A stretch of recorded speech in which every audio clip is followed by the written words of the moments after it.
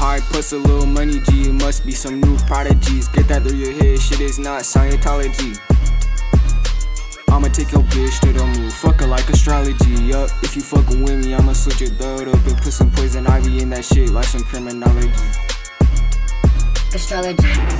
If you fucking Life having Lil Money G on this track.